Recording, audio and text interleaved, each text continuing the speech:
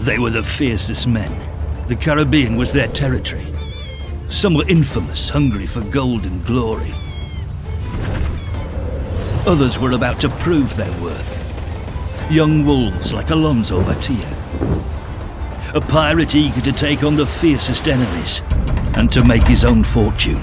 In 1716, Alonzo became a deadly predator, a fierce raider, a merciless captain. Walk in his footsteps. Explore the immensity of the Caribbean. Build up your crew and your ship to conquer the seas and become the true master of naval combat. Follow Alonzo's destiny.